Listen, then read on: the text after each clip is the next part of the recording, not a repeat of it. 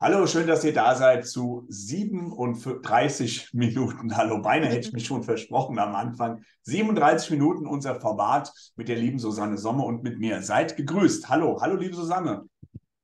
Hallo Jens, ich freue mich auch, dass wir wieder zusammengefunden haben. Von mir ist auch für 47 Minuten. Ja. Ja, 37 Minuten werden wir jetzt darüber sprechen, dass Schreiben Glück bringt. Am Anfang ist das Wort, war das Wort und ähm, es ist eine Ursache und dies gibt auch eine Wirkung. Deswegen bringt Schreiben auch Glück. Ähm, was fällt dir dazu ein oder anders gefragt, ähm, bringt dir dein Schreiben Glück? Hm.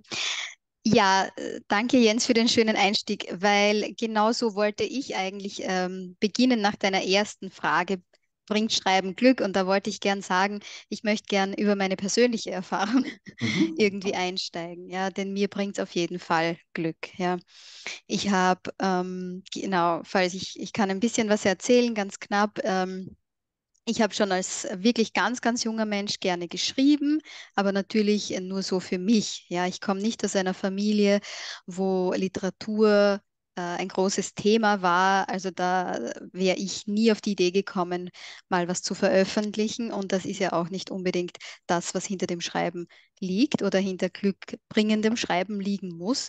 Aber letztendlich bin ich dorthin gekommen, ja, durch ähm, meinen Sohn dann auch ähm, und durch die viele Zeit mit ihm und durch das Stillwerden und ähm, natürlich auch viele Gefühle und Momente in mir haben, die sich immer mehr einen, einen Ausdruck äh, gesucht haben. Der kann äh, vielfältig sein. Ich mal, male auch sehr, sehr gerne, aber das Schreiben ist dann immer stärker geworden.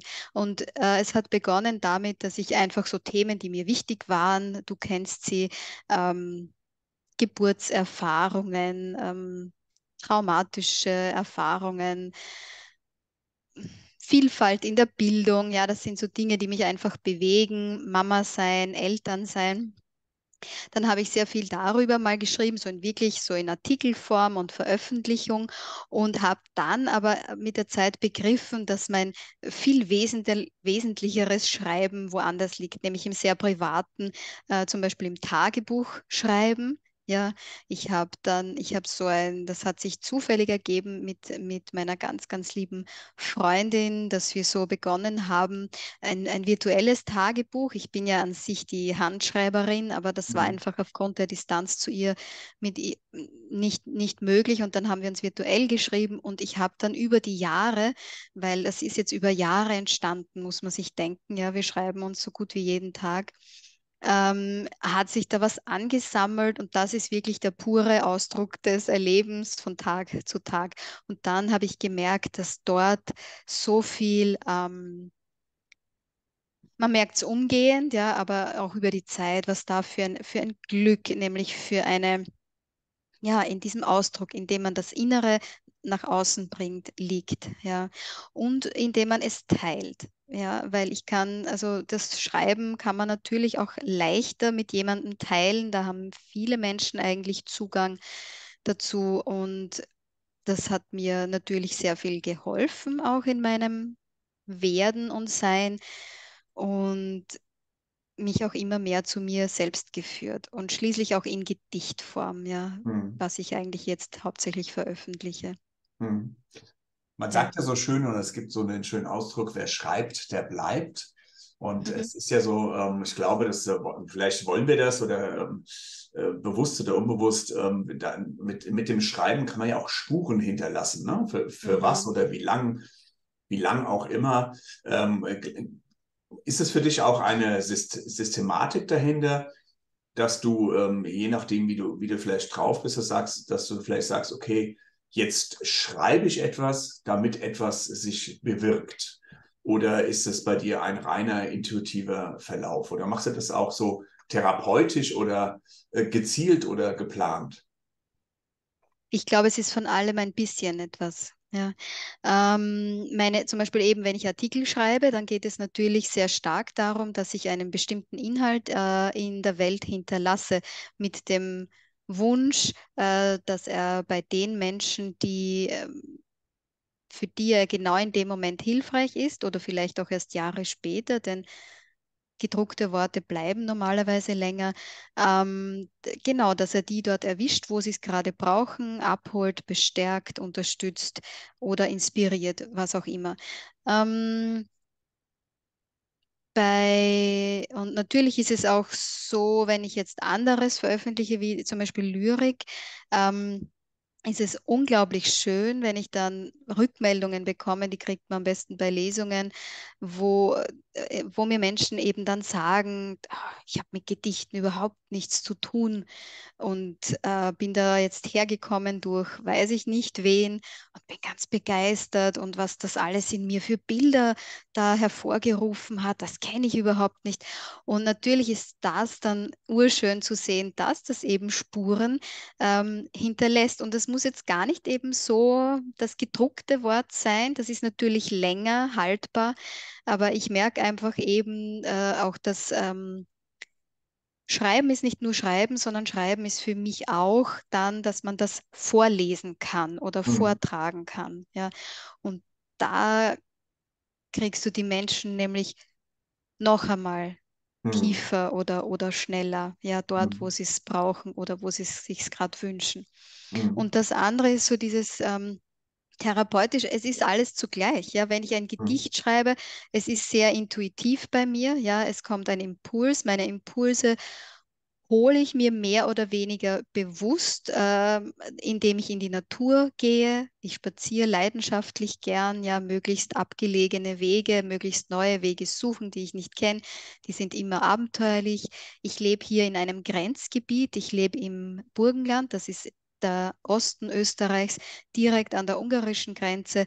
Es ist auch die Slowakei überhaupt nicht weit weg.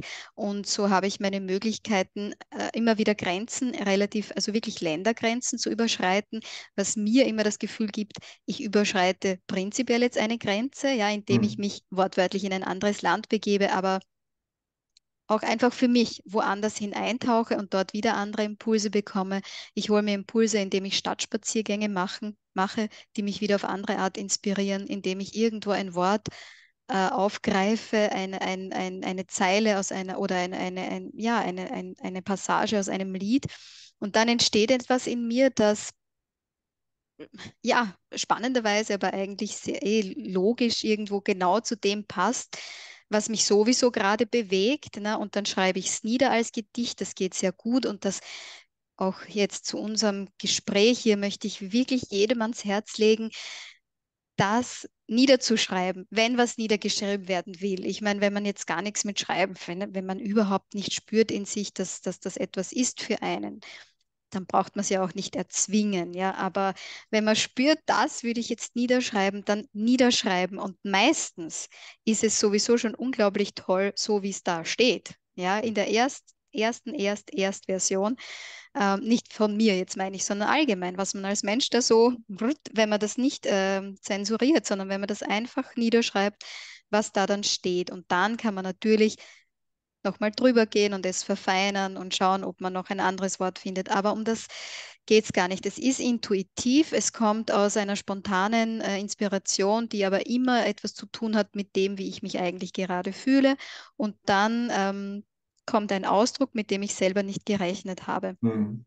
Und ähm, der mich wieder, der wieder zurückwirkt auf mich, indem ich Mhm. es lese oder mir laut vorlese äh, und ich dann vielleicht ein Thema äh, begreife, in dem das mir vielleicht gar nicht bewusst war. Und somit ist es immer therapeutisch auch in dem Sinn und auch, weil etwas von innen nach außen geht, weil es ausgedrückt wird. Und ich glaube, Menschen, die das noch nicht wirklich erfahren haben, ähm, spüren das vielleicht jetzt noch nicht so, was das bedeutet, wenn, wenn von ihnen was hinausgeht. Ja, es ist Mhm. dann nicht mehr irgendwas ähm, Subtiles oder nicht Greifbares, sondern man hat es in die Welt hinein erschaffen. Ja, Mhm. es ist dann da. Es ist irgendwo, ob man jetzt an Energien glaubt oder wie auch immer sich das jeder vorstellt, aber man hat es hineingetragen in dieses Universum und ähm, wenn man sich das dann so vorstellt, ja, wo diese Worte vielleicht überall hinreisen und wen sie vielleicht aller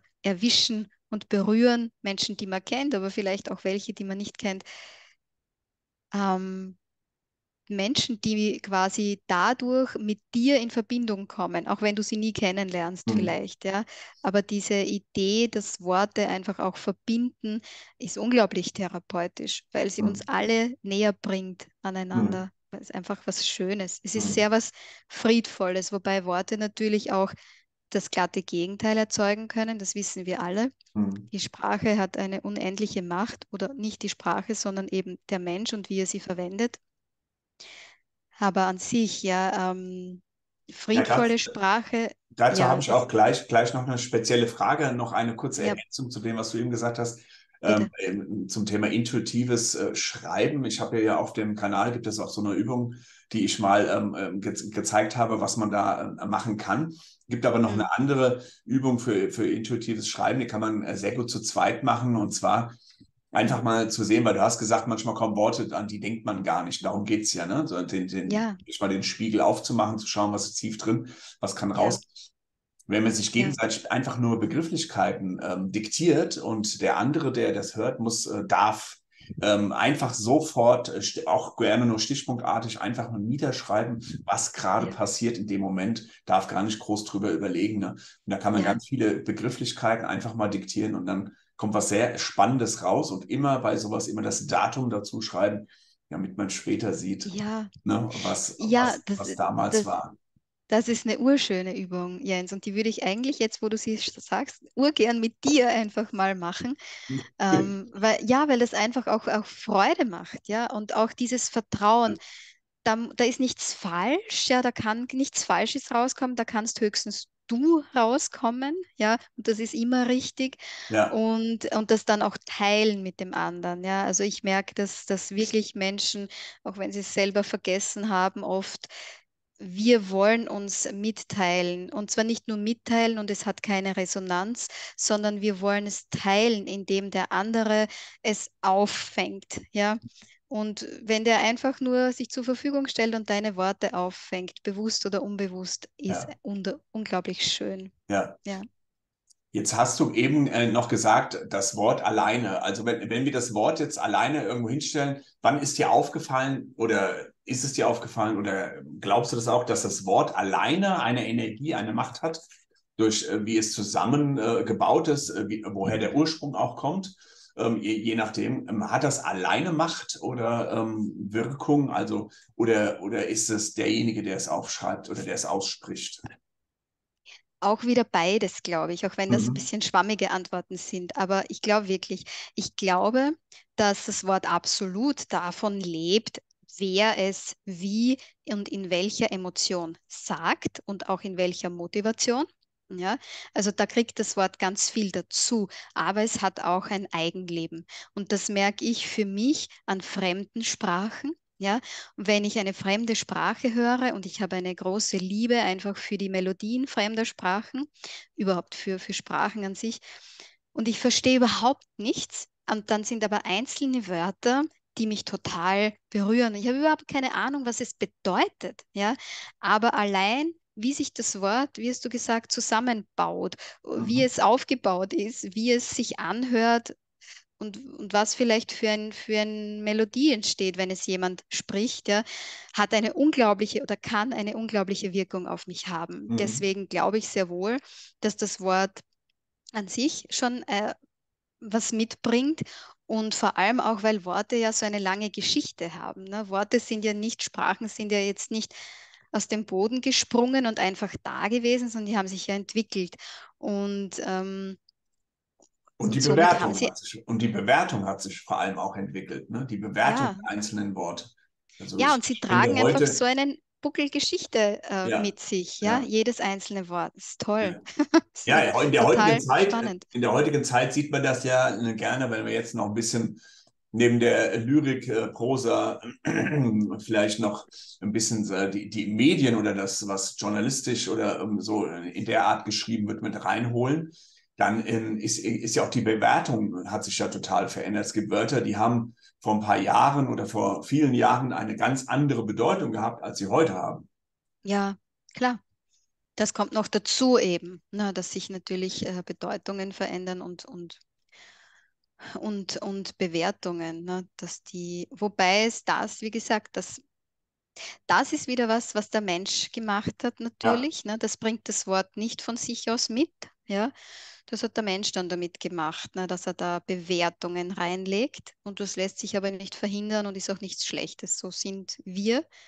Äh, ich glaube, so muss unser Geist auch sein, dass er prinzipiell bewertet im Sinn von, dass er einteilt, damit Hm. er sich zurechtfindet. Und dann dürfen wir uns natürlich im nächsten Schritt wieder von Bewertungen, die nicht Hm. sinnvoll sind oder nicht hilfreich sind, wieder, wieder Äh, loslösen, Ich, ich natürlich. glaube ja, dass wir da so ein bisschen zweigeteilt dran gehen. Einmal mit der Ratio, also mit meinem Verstand.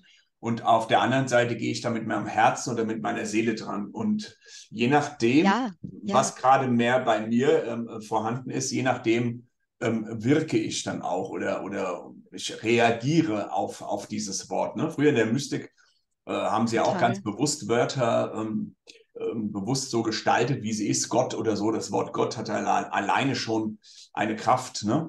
Und ähm, Ja, heute, heute, wenn du mit der Ratio dran gehst ähm, und äh, wir über Propaganda oder Framing sprechen, und dann wirkt es ja auch, obwohl es äh, nichts mit unserem Herzen zu tun hat, sondern mit unserem Verstand und ja, eine, sag ich mal, aufoktroyierte Emotion. ja, danke, Jens. Ja, das ist ganz wichtig. Ja, dass da, ähm, genau, dass, genau, dass es, dass Sprache unterschiedlich wirkt, je nachdem, in welchem Zustand ich äh, eben Herz oder Kopf es Hm. ausspreche oder eben auch empfange. Ja, das ist ganz wichtig. Und das merke ich natürlich bei mir auch. Ja, das ist bei mir so wie bei allen anderen Menschen. Und indem wir uns aber immer mehr erlauben, Sprache zu erforschen, Worte zu erforschen, die was aus uns rauskommen möchte, äh, genau, äh, finden vielleicht auch unbewusst solche Prozesse statt, dass einem sowas überhaupt klar wird. Man wird sensibler für, noch einmal, für die Macht der Sprache, auch für die Gewalt der Sprache. Äh, Hm. Gewalt auch im Sinn von, also auch im Sinn von große Kraft, ja. Ähm, und das alles ähm, macht uns letztendlich äh, glücklicher. Zurück zum Thema Schreiben bringt Glück, indem wir uns und unsere Umgebung, unsere Welt immer mehr verstehen. Und all das, was wir aber nicht hier verstehen, aber es, es, wir drücken es aus, wie gesagt, am besten intuitiv und, und gar nicht strukturiert. Und das ist eine, eine, eine Befreiung, eine wunderschöne Erfahrung. Darf ich da noch, noch was dazu sagen? Unbedingt. Du hast vorher eben diese schöne Übung genannt, die ja an sich einfach äh, schön ist und auch, finde ich, davon lebt, weil sie eben mit jemand anderem passiert. Ja? Und da gibt es jetzt immer mehr, habe ich das Gefühl, es gibt es wohl schon immer, aber ich, äh, ich, ich sehe jetzt überall irgendwie so diese Schreibgruppen. Ja, Mhm. da gibt es ganz viele ja, also Vereine, die so Schrei die Schreibgruppen anbieten, Online-Schreibgruppen auch äh, meistens heutzutage, wo sich einfach dann Menschen treffen für einen Mhm. gewissen Zeitraum und ihr und die schreiben halt alle an etwas, ja, Mhm. und und teilen das dann in der nächsten Mhm. Schreibgruppe, im nächsten Zusammentreffen und schauen, äh, wie das wirkt, kriegen Rückmeldung und so. Mhm. Und aus diesen, äh, da, dadurch, dass sie es nicht allein im Kämmerchen schreiben, sondern immer wieder teilen, also im Prozess eigentlich, äh, am Prozess immer wieder die Rückmeldung haben, äh, haben, haben sie total, also wird ihr Schreiben viel besser, unter Anführungszeichen, weil, weil, weil es einfach von Anfang an eine Resonanz hat. Ja, das, Ja. ähm, und dadurch wird es klarer oder verdichtet sich mehr und, und, Mhm. wird, und wird vom Ausdruck her stärker oder was auch immer.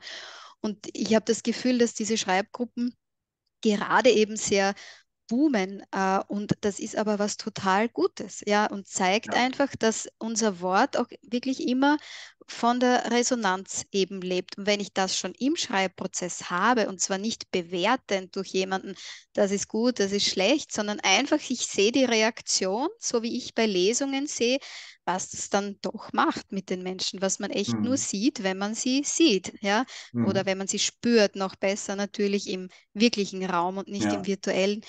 Das macht unglaublich viel und vertieft noch einmal eben Ja. unser Schreiberleben. Ja, die haben ja, ja verschiedene Herangehensweisen. Kreatives Schreiben, therapeutisches Schreiben, dann gibt ja, es handwerkliches Schreiben, also für, für, für Schriftsteller wie uns. Da geht es wirklich genau. um Handwerk und da wird, da wird natürlich auch bewertet, ne? weil ich, ich meine, das genau, hat ist ein anderer Zugang. Mit Grammatik dann, oder ja. ähnliches auch zu tun. Ne? Genau, mhm. und Schreiben bringt Glück, weißt du ja auch, das ist ja auch ein Lehrgang. Ähm, und da, ähm, da ist es eigentlich eher ähm, ein therapeutisches und ja. ähm, kein handwerkliches Schreiben. Also da musst du jetzt nicht Schriftsteller oder so sein. Ähm, aber es hilft natürlich auch trotzdem, wenn du ähm, äh, als Autorin oder Autor äh, Schreibblockaden oder ähnliches ähm, äh, gerade hast, weil, wie du das vorher schon gesagt hast, es geht ja nur um eine Ideengebung ähm, äh, zu finden, eine, eine neue, eine andere ähm, Impulse zu sammeln. Ne? Und ja. vielleicht neue Synapsen in deinem Gehirn, sag ich mal so, ähm, zu kreieren, damit. Ja, ähm, absolut. Äh, weil das Problem, was wir ja alle haben, ähm, wir, wir denken, Schreiben kommt ja vom Denken, ne? Ja. Wir denken ja das, was wir eigentlich zu 95 Prozent, was wir gestern schon gedacht haben. Ne? ja, ist ja so. Ja. Im Prinzip ist das ja, ne? Genau. Und, ja. und äh, dieses Kreative kommt halt erst, wenn man, ähm, sag ich mal, die Perspektive verändert. Ne? Da gibt es auch ja. schöne Übungen übrigens, Perspektiven verändern. Einfach mal andersrum im Bett schlafen oder mal äh, durch die Beifahrertür ins Auto einsteigen ähm, oder einfach Absolut. mal in der Fußgängerzone sich hinhocken oder mal wieder auf den Baum klettern, Kopfstand machen etc. Also die Perspektive wirklich so zu verändern, was du normalerweise gar nicht machst. Und da bekommt man auch ganz viele neue Ideen ich bin ja ein großer Fan von eben alles, was mit dem Kopfstand. Körper zu tun hat. Ja, komm, ja, äh, äh, also ernsthaft, ja, also da wollte ich jetzt noch hinkommen, aber ähm, prinzipiell alles, was, wie wir unseren Körper bewegen, bewegt sich auch in unserem Inneren etwas. Das ja. ist jetzt keine Idee von mir, sondern die ist uralt und liegt zum Beispiel dem Yoga sehr stark zugrunde. Mhm. Ich meine, da gibt es natürlich viel mehr Aspekte, die im Yoga wichtig sind, aber der gehört dazu. Ja, was ich im Außen bewege, im Körper, bewegt äh, mein Inneres. In dem Moment, also gerade so diese ähm, na, diese, diese Umkehrungen im Yoga, genau. ne? ob das jetzt der Kopfstand ist, ob das der Handstand ist, ob das die Kerze ist, was auch immer es gibt die haben ja einen unglaublichen, äh, wirklich immer einen großen Gesundheitseffekt. Ja? Also viele Dinge, es ist vielen Menschen gar nicht bewusst. Es ist unglaublich spannend, äh, wie da zum Beispiel gerade die Lymphe, ja, die Lymphflüssigkeit äh, wirklich bewegt wird. Ja, also wir haben einen Herz, einen Blutkreislauf, der hat eine Pumpe, das ist das Herz, ja, wobei das Herz viel mehr ist als eine Pumpe, aber ja, aber die Lymphe hat keine Pumpe, ja. Die kann sich nur bewegen, wenn wir uns bewegen, was ja in der heutigen Zeit schon problematisch ist, ja, mit diesen vielen langen sitzenden Tätigkeiten. Und allein, wenn du dich einmal umdrehst, ja, gehen unglaubliche Dinge los in deinem Körper. Jetzt muss man sich vorstellen, wenn sich einmal die Lymphe bewegt, was ist die Lymphe? Die scheidet die ganzen Giftstoffe, transportiert die dorthin äh, zu den ganzen Lymphknoten, wo sie dann eben rausgehen können aus dem Körper. Ähm, in dem Moment, wo du da was bewegst und Dinge aus dir raus beförderst, die nicht sein sollen, das ist ja ganz klar, dass da auch in deinem Herzen und Geist etwas passiert, ja, indem da werden auch Dinge bewegt, die dann hinaus wollen, ja, oft auch eben Dinge, die wir eh nicht brauchen, ja, und indem wir das, da, da gibt es unglaubliche Impulse durch Bewegung. Also wie ich gesagt habe, ich bewege mich ja urgern in der Natur. Ich komme immer mit so einem Haufen Ideen zurück, ja. ja. Was dann wirklich aufs Blatt wandert, ist minimal. Das ist auch immer eine Zeitfrage, aber es muss auch nicht alles aufs Blatt wandern, immer gleich. Ja, ich habe einen ganz, ganz lieben Schriftstellerfreund. Das ist mein ein Brieffreund und der hat mir gesagt, Susanne, deine Ideen, äh, also die wichtigen Ideen, die gehen nie verloren. Ja, wenn du mhm. jetzt denkst, oh Gott, das muss ich sofort, weil das fällt mir jetzt in fünf Jahren, wo ich vielleicht dazu komme, nicht mehr ein. Nein, die wichtigen Sachen, die, die wirklich jetzt ausgedrückt werden wollen, im weiteren Feld als Publikation und dann alle anderen, die, die, die bleiben. Ja. Ähm, und das fand ich sehr schön. Also wir haben ja auch jetzt keinen Stress, dass man ähm, alles, was sich in uns tut, immer gleich in der Sekunde ausdrücken müssen. Aber an sich ist es was Schönes und sehr Gesundes, finde ich. Ja, und du hast ja auch ganz viele Dinge gesagt, die auch sehr ausschlaggebend sind, zum Beispiel immer mal wieder in die Umkehr kommen. Das mhm. heißt, ähm, ähm, auch körperlich gesehen, weil das ist ja das Problem, was wir haben. Wenn wir irgendwo einseitig werden, dann, dann äh, sind wir einfach festgefahren. Dann äh, ist immer wieder ja. das Gleiche, immer wieder das Gleiche. Und wenn das auch noch ein kleiner Schiefstand ist, dann, dann, dann wird es auch irgendwann wehtun, ne? weil Einseitigkeit schmerzt irgendwann, ne? weil ja. der Ausgleich, wie gesagt, nicht da ist. Und deswegen ist das halt auch so wichtig, was du eben gesagt hast, in die Umkehr zu kommen. Das hast du sehr gut gesagt. Dann hast du noch was Gutes gesagt. Du sagst ja nur gute Sachen. Dann hast du noch mhm. was sehr, sehr Schönes gesagt. Und zwar ähm, direkt und indirekt, dass schon alles da ist. Es ist, ja. es ist schon alles vorhanden und ja. Äh, es muss nicht alles ausgedrückt werden. Es ist sowieso da. Das heißt, wir können jederzeit auch immer wieder darauf zurückgreifen. Und das machen wir auch, wenn wir nämlich schreiben. Das ist ja schon ja. vorhanden. Ne? Nur wir bringen ja. es, wir bringen es raus. Deswegen ist auch eine, auch, eine, auch eine schöne Sache. Heute haben wir ja die Übung hier raus ohne Ende. Ähm, auch noch eine schöne Sache für jeden, äh, der das hier sieht, der kann das gerne mal machen. Einfach mal seine fang mit zehn Wörtern an, äh, deine, deine Zauberwörter oder deine, deine Lieblingswörter, deine Energiewörter, äh, whatever, wie du es gerne nennen willst, einfach zu schreiben und dann äh, geh mal weiter runter, geh mal von den zehn Wörtern vielleicht auf ähm, ähm, am Ende drei oder am, vielleicht am Ende, wie heißt der Titel deines Buches, deines Lebens, ja. Wenn du sowas mhm. mal mit Worten versuchst mal herauszufinden, einfach mal zu schauen, ne, was für Worte sind denn das eigentlich, ne? Was ja. bewegt mich, was bringt mir Energie und ähm, ne? das ist ganz interessant. Ja, ähm, könnt ihr gerne mal machen, wenn ihr, wenn ihr mögt. Einfach, wie heißt der Titel eure Le eures Lebensbuches und ähm, schreibt das auch gerne mal hier drunter unter das Video. Bin, bin ich mal neugierig. Ja, und jeder kann das machen. Eben, ja. da muss man überhaupt kein Schriftsteller sein. Da muss man, das braucht all das nicht. Jetzt Schriftsteller sind mhm. die, mhm. die halt nicht, also für die es ganz essentiell ist, einfach zu schreiben und zwar auch wirklich eine eine, eine Resonanz zu kriegen und so. Aber das, das ist, wie gesagt, das muss nicht, das ist nicht der Sinn vom Schreiben unbedingt zwangsläufig gar nicht. Das kann jeder machen, ja, ähm, der gar nichts mit Literatur, mit großartig zu tun hat. Und es ist einfach und macht einfach äh, Spaß und Freude. Also ich habe jetzt zum Beispiel äh, wie, während du die Übung erzählt hast, ähm, habe ich mein Wort gefunden. Ja, ich hatte es gleich. Ich, ich habe gar nicht zehn gebraucht. Und ich sage es nicht, weil das ist mein Wort. Nein, wir sagen nicht. Nein, wir wissen das, äh, die eine Übung, die ich genannt habe, ist auch, ähm, äh, wir machen die auch gerne in einer Gruppe, ähm, die, ja. die, ist auch ähm, für jeden selber, weil wir da auch so Begrifflichkeiten äh, für, für den Menschen gegebenenfalls, äh, dass sich da etwas löst, was nicht so angenehm ist. Ja, ich nenne es mal ja. so. Ne? Ja, ähm, deswegen ja. ist das natürlich eine Übung, die dann äh, die, diskrete ja nur derjenige äh, nur, nur, nur für sich selber ist. Ne? Auch. Ja. Genau. Ja. Nicht. Ne? Weil es ist auch nicht immer, ähm, natürlich ist es gut, ähm, offen über Dinge zu sprechen, aber ähm, es gibt natürlich auch ein bisschen ähm, eigene Dinge, die man, die man erstmal bei, bei sich und dann erstmal mit sich selber klar macht, sag ich mal so. Genau. Und wenn man mehr braucht, sich dann natürlich auch immer Hilfe holen kann. Ja. Genau. Ja. Aber es ist auf jeden Fall ähm, sehr, sehr interessant, sich generell mit dem Schreiben einmal auseinanderzusetzen. Und ähm, das ist auch immer sehr interessant. Ich kenne, kenne ganz viele Menschen, auch mit denen ich arbeite, die haben mit Schreiben eigentlich im Kindergarten, Schule oder so überhaupt nichts zu tun gehabt und fanden das auch eher grässlich, sage ich mal so. Aber irgendwann ist ihnen aufgegangen, alleine nicht, was da rauskommt, sondern alleine die, äh, das, dass man überhaupt schreiben kann.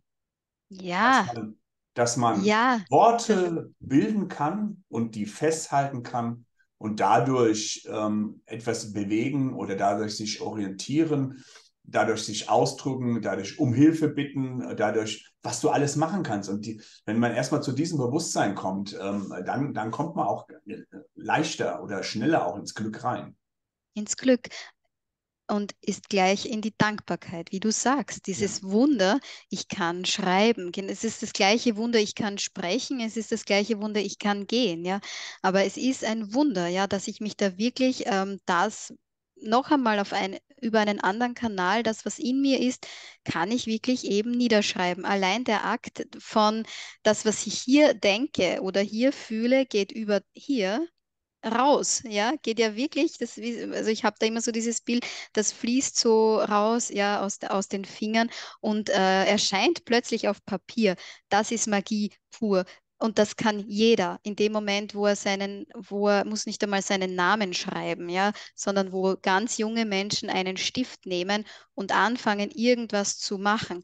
Ähm, und, und schau einem jungen Menschen einmal zu, einem ganz jungen, der unbewertet ist, ja, wo nicht schon wieder die Kindergartentante und die Lehrerin neben sagt und sagt, was ist das, was du machst, ja, sondern schau ihm einfach zu, was da für eine Begeisterung oder für ein Staunen da ist, dass da plötzlich aus dieser Hand da was rauskommt, mhm. ja, es ist gigantomanisch, ja, ja, und das dürfen wir uns als ältere Menschen, denen das ja leider durch Bewertung eben, wie ich sie gerade schon genannt habe, mhm. oft ja genommen wird, verloren geht.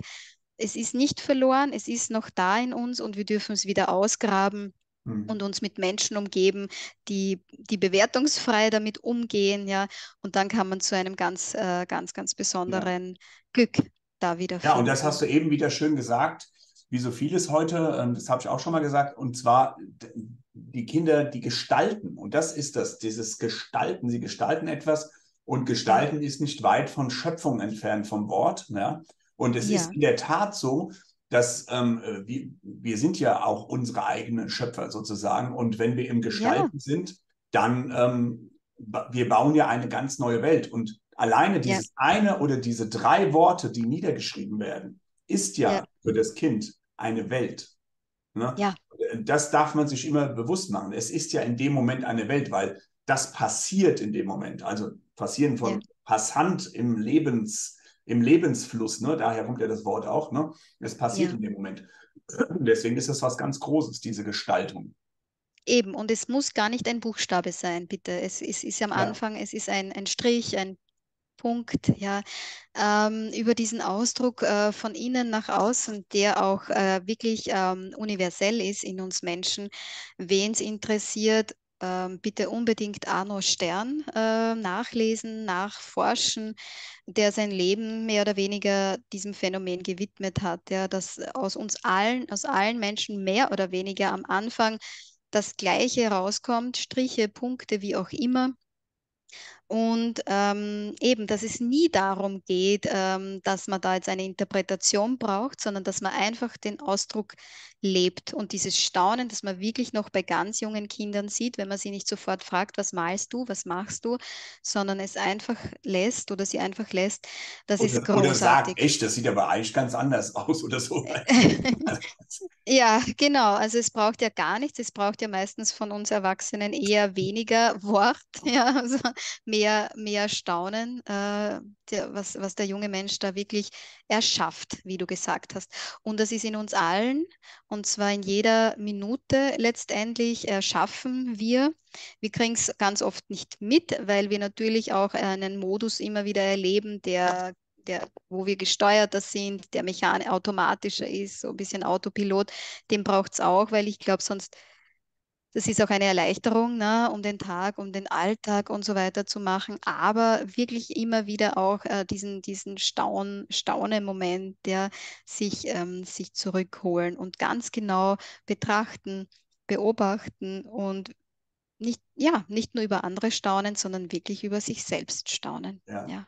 Die Bewusstwerdung und ähm, man kann das auch ganz bewusst oder sollte es vielleicht auch ganz bewusst machen. Man kann das auch sehr gerne ritualisieren. Also man nimmt sich Zeit für sich selber, ähm, geht vielleicht an einen schönen Ort oder hat sich vielleicht was Schönes eingerichtet, eine, eine, eine schöne Ecke, ein. Altar gebaut oder whatever, jeder wie er gerne mag und ähm, mhm. hat vielleicht einen schönen äh, Füllfederhalter und nimmt sich einfach Zeit für sich und ähm, schaut einfach mal, was alles auf das Blatt Papier kommt.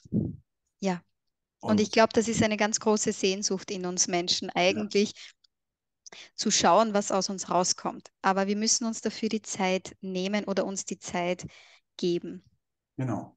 Hm. In diesem Sinne sind die 37 Minuten schon wieder vorbei. Sind schon wieder vorbei, das gibt es ja gar nicht. Ja, und ähm, ich bin gespannt, ähm, wie die Reaktionen ähm, jetzt auf dieses Video sind. Hoffe natürlich, dass wir inspirieren konnten und freue mich auf ganz viel Feedback und bedanke Ja. mich ganz recht herzlich bei dir für dieses wunderbare Gespräch wieder und freue mich auch auf das nächste wieder.